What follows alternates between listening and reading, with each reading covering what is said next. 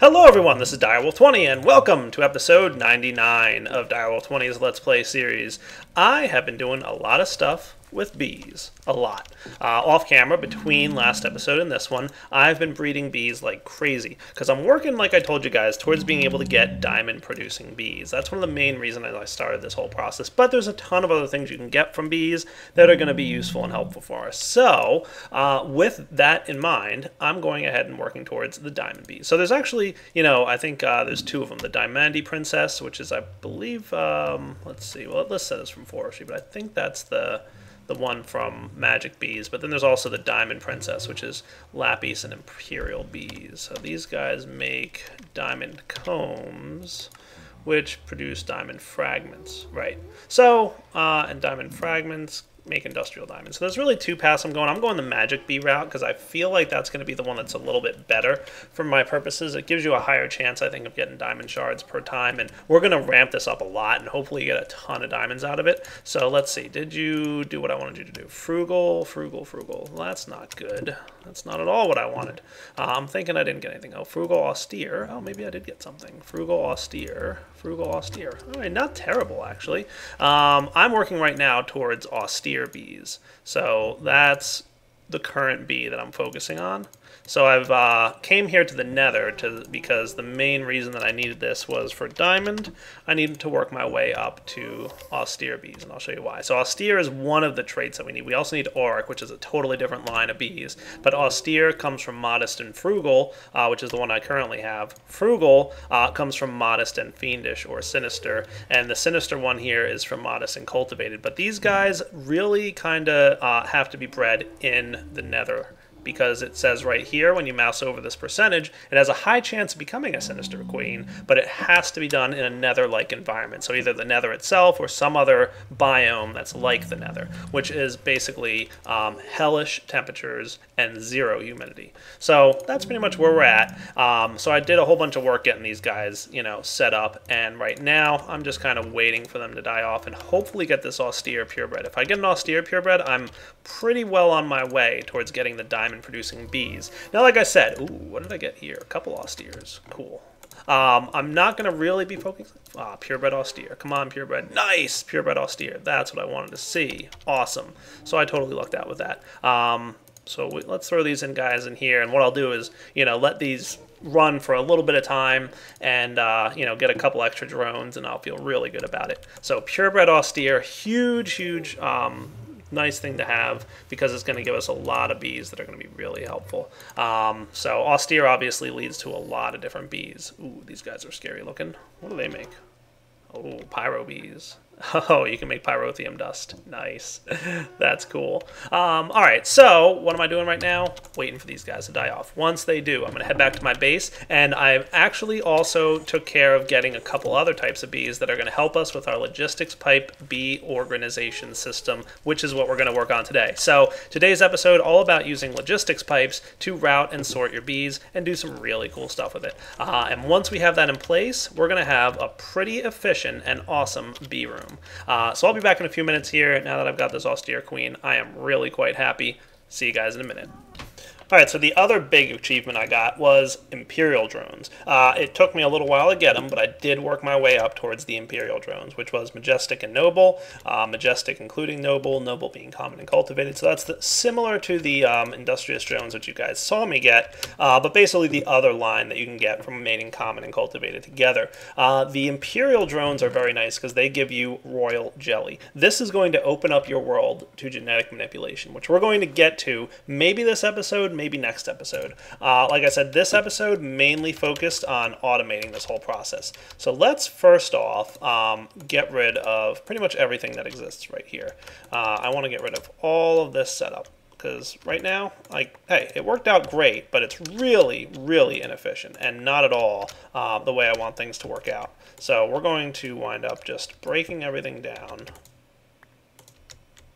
and making this as super efficient as possible. So let's get started. What do you say? Um, I might want to make another apiary, but for now I guess we're okay. We're not even using all, all of them that we've got. Um, I did leave that one in the nether. I should have brought it back with me. Oh well. Oh, and I had to place a cobblestone there because I was using some rocky drones at some point. And those guys require stone nearby as their flower type. Alright, so what are we going to get? Oh, you know what? I totally left my frames back there too. Alright, I should totally get this thing back. Let's go nether.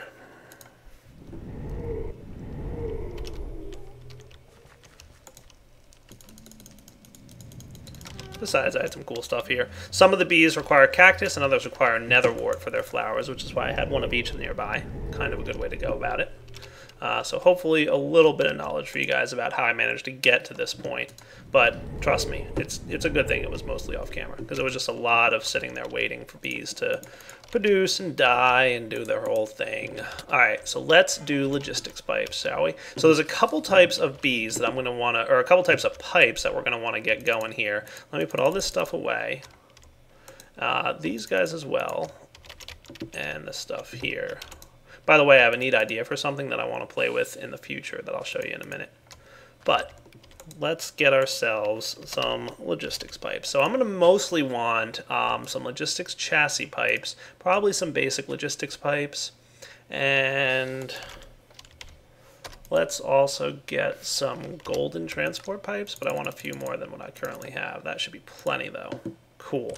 Now the types of um, stuff that we're going to want to get is listed right here.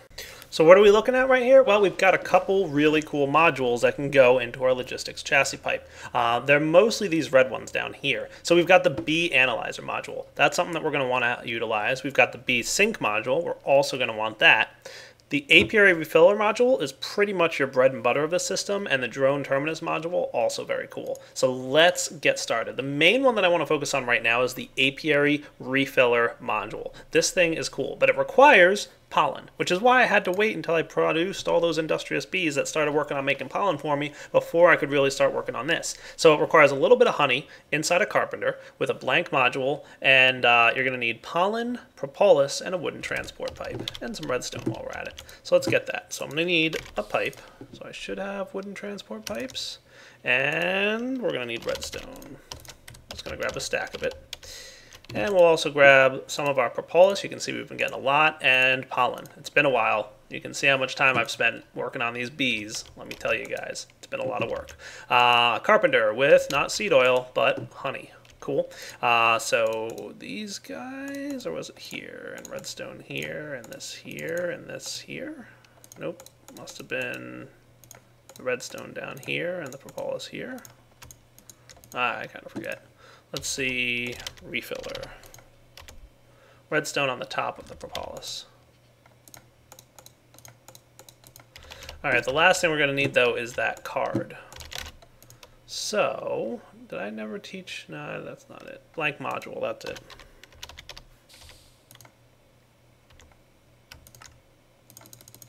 I'm going to get a bunch of these because I'm going to need them for all kinds of stuff. That'll do for now. I can always get some more gold ingots in there or, or, nuggets. Now I think these go here. There we go. Now we're talking. Look at that. Cool. So we're definitely going to want a few of these. I don't know that they stack. If they do, great. If not, no biggie. Alright, for now I just need four, I think, to get started. Um, don't need any more than that at this point. And the other type of module we're going to want is, well, I'm definitely going to want a Bee Analyzer module. So that's going to be an iron gear.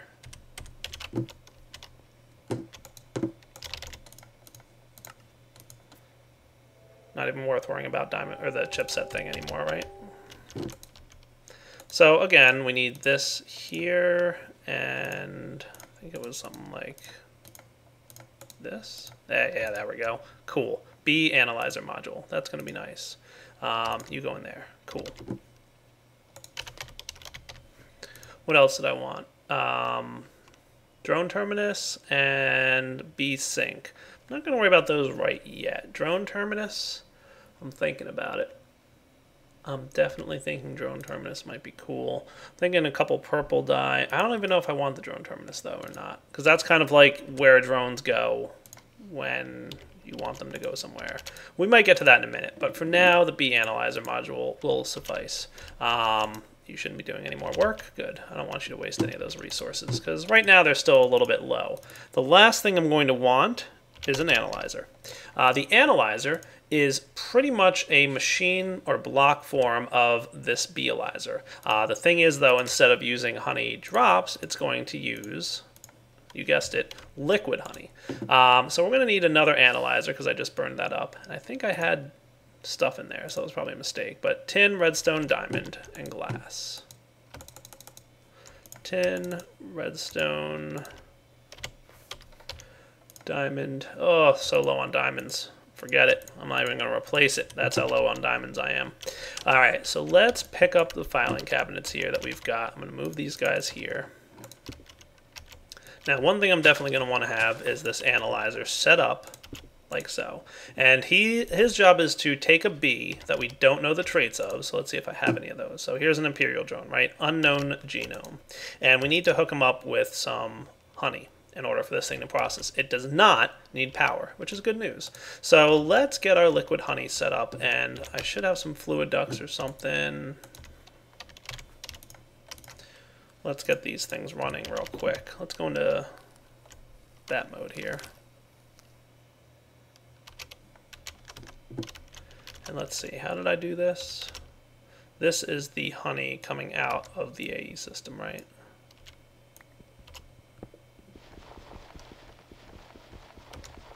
So I kind of want to run this and snake it behind the wall here.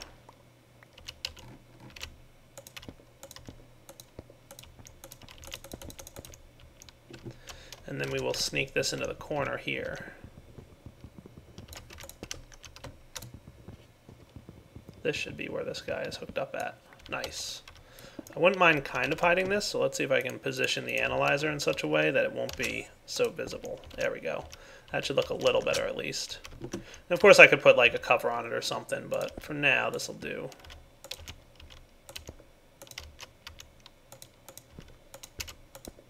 There we go. Honey goes in. Nice. And if we take a look at the interface here, we'll see that um, when we put the Imperial drone in, she goes in there, and the honey starts to get used up, and we'll analyze the bee. So that's an important thing.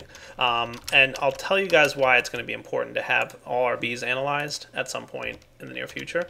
Uh, I don't want to do it just yet, though, because I'm still a little bit low on liquid honey. Um, course, I just burned a bunch of uh, honey drops, so that wasn't cool. But let's get our squeezer and throw another stack in there just so we can kind of fill up our honey reserves a little bit.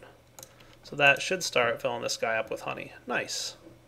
That's cool. And you can see the Imperial drone is now analyzed. That's going to be important for us, so just trust me on that fact. So some of these guys are analyzed, or no, wait, this is my not purebred chest. This is the purebred one. These guys, so like obviously a lot of them not analyzed yet. That will be useful nearly soon. So that's what the Bee analyzer module is going to be for. So let's get our system set up. So we're going to want a bunch of basic logistics chassis pipes. And they're going to be one, two, three, four. And eventually we'll have this guy hooked up. Now I do need to connect power to these things, by the way, but I'll get to that in a minute. Uh, apiary refiller module. This is the best module for dealing with apiaries that you're going to find. And I'll show you why in just a minute once we have something to do. So these guys are all set up. Let me get a power thing into here somehow, and we'll be right back. All right, so the next thing I'm doing is looping this thing probably right over to maybe right here. I don't know if I want this to kind of be out a little bit. I'm thinking that should be good. And I've got an interface here. Um, and to that interface, I'm going to connect just a basic logistics pipe. And I can disable all this stuff. This was obviously set up from before. It's an interface I had earlier. Uh, this is going to connect to probably my yellow system. So you know what? Maybe I should have this guy over here. That might not be a terrible idea, because I already have this kind of set up. So why reinvent the wheel, right? I'll run this over... Oh, darn it. Run this over this way. So apiary refiller module goes there.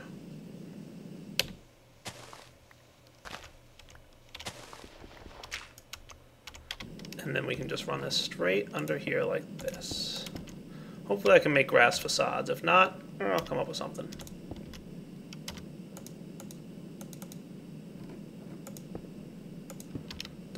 Dun. Cool.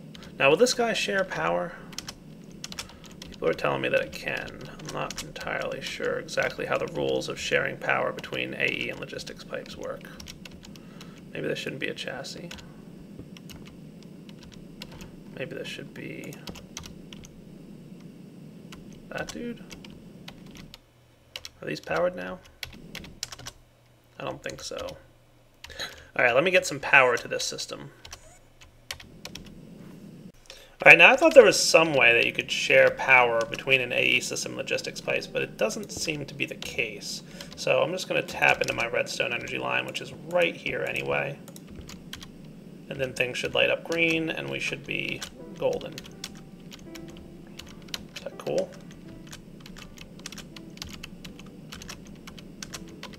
Yeah, look at that. All right, so now we should be good to go. Now, these guys aren't running just yet, so let's see why that might be the case. It might need to go on the back. Let's see if that's true. I'm to go ahead and just break these guys all for a moment, just for the sake of fun. I thought they could work on any side, but I guess not. So let's tap into here, put the apiary refiller module in. I'm to run the gold line back here. So you're going to automatically refill or what?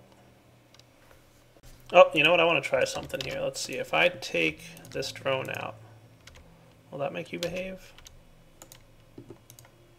Nope. Now let's try it on this side.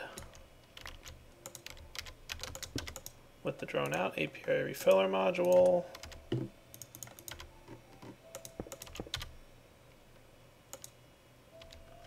Maybe there's one more thing I have to do and make sure that there's a route for these guys on the system. That might be the problem too.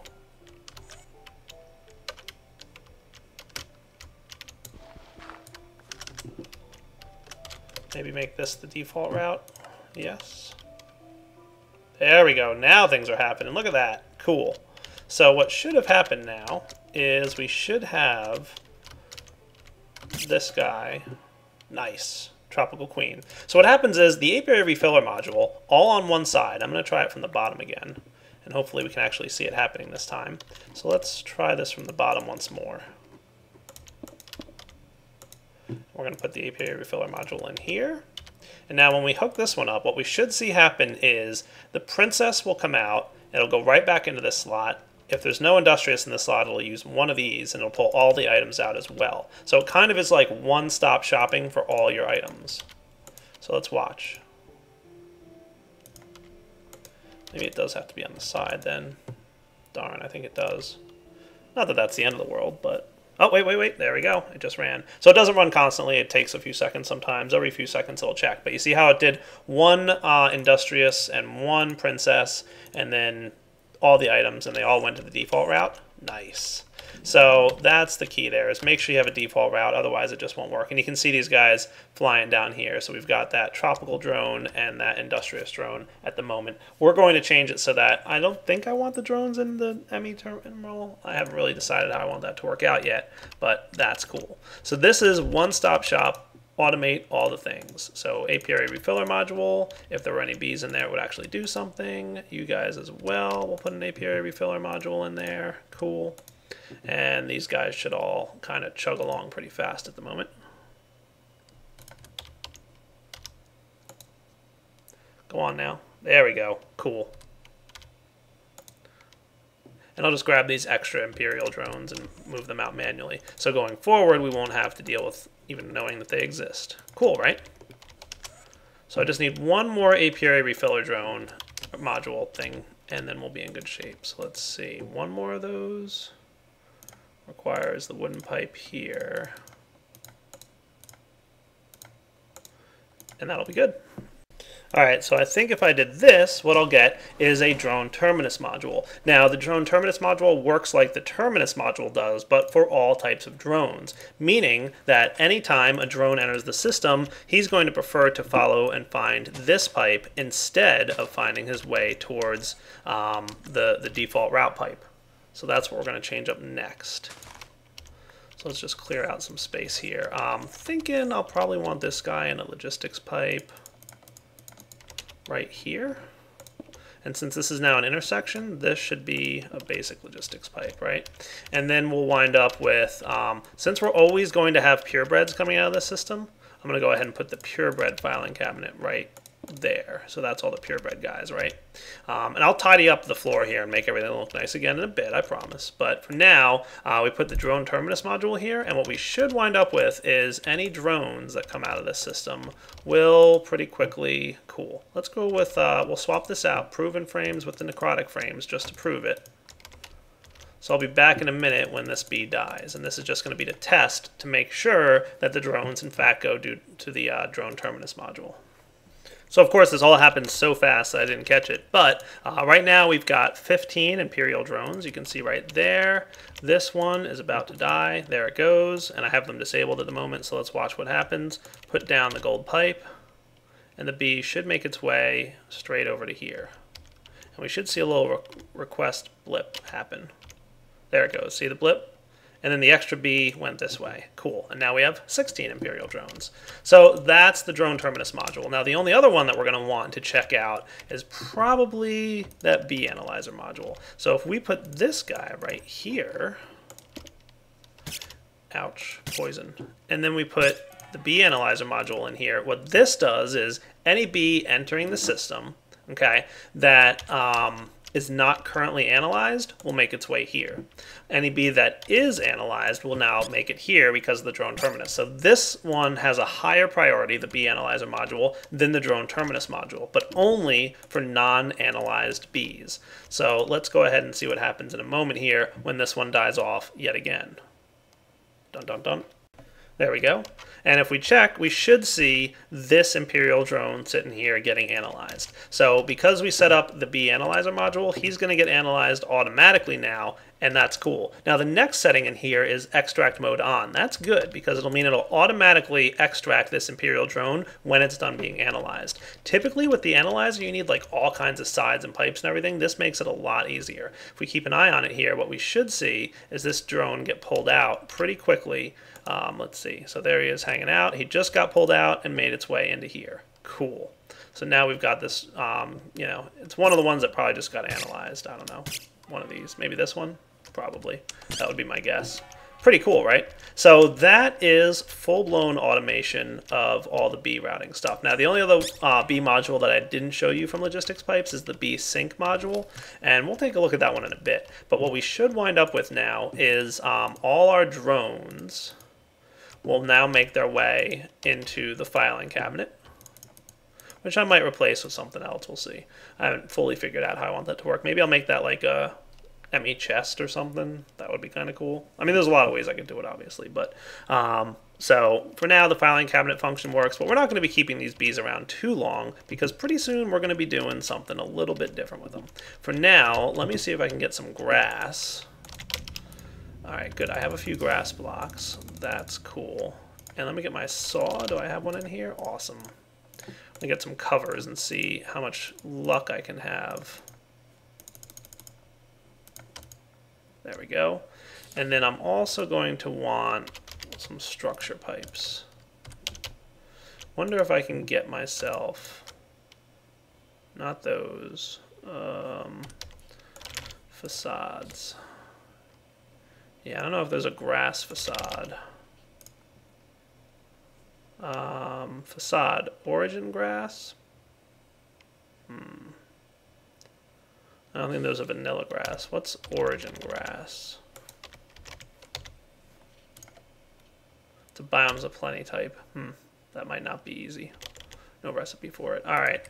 So I might not be able to do facades. I can do covers. I just want to see if I put a cover down, will it actually look like grass on the top? Oh, that's cool.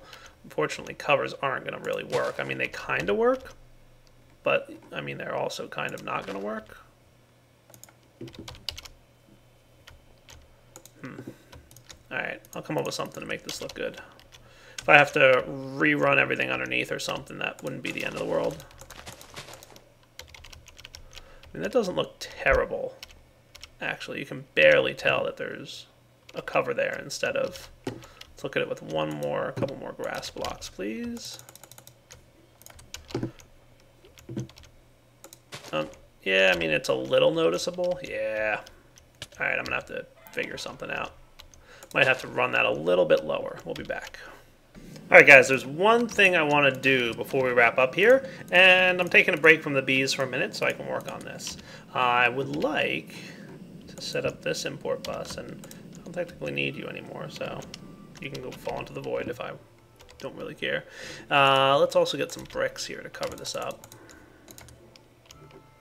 What I'm thinking is I'd like to make a little bit of end stone, and I'll tell you guys why next episode. But for now, uh, this guy is going to filter out only uh, end stone here. And let's also snag this basin and replace him.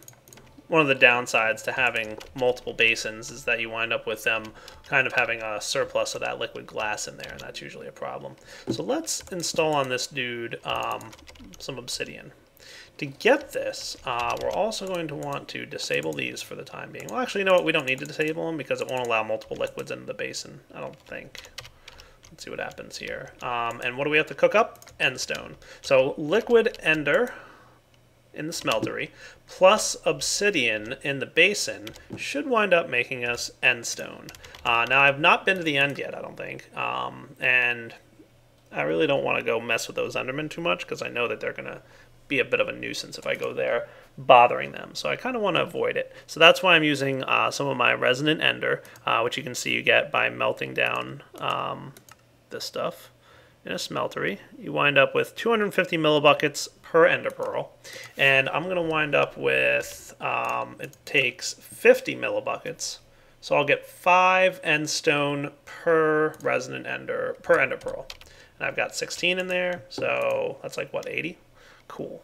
So that should be cool. Um, I could I could work with that. So we'll let that cook off. I'll get about 80 end stone out of this operation. I've got a little bit more obsidian than I need in there, but that's okay.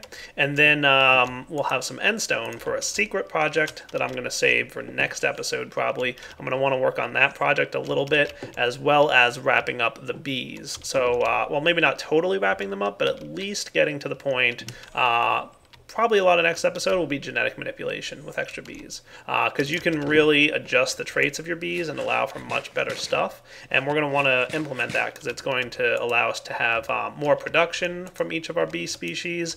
Uh, as we mentioned earlier right cultivated bees have high production rate and these guys probably have low or slow or something like that. So if we can manipulate those traits then we can have bees that produce a lot of cool stuff uh, a lot faster too. All right so this thing should really be kind of just dumping into here, except it's not.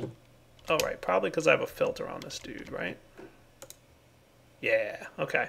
So let's remove the uh, filter for now. We don't really need him at the moment. And you can see there. So the ender is not allowed into these casting basins because they still have glass in them. And this guy's getting ender stone. And we put a filter on there so it only pulls end stone out and it doesn't pull the obsidian out. Neat trick, right? So we'll be back next episode. Uh, we'll focus on the end bees, uh, or the, the end of uh, extra bees those end machines there that'll really help us out. I will kind of tidy this up a little bit, uh, but right now we have a really efficient automatic routing system for all our bees to operate in, which I'm happy about because it means that I don't have to worry about them. I can just leave them there now and they'll all just continue to process without me touching them. Obviously, the frames need to be replaced every now and then, but we're going to get to a point where that's not even necessary anymore. That will be cool. All right, guys, for now, Direwolf20 signing off. Hope you enjoyed the episode. Take it easy.